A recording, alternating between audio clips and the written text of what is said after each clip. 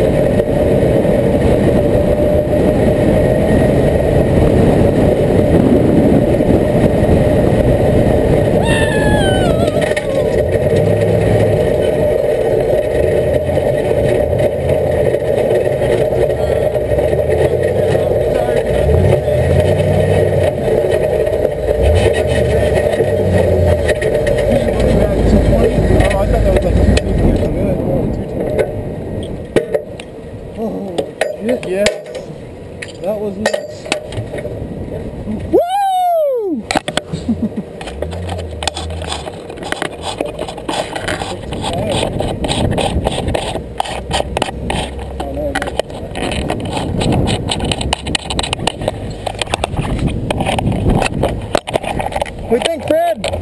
I don't know. We'll see.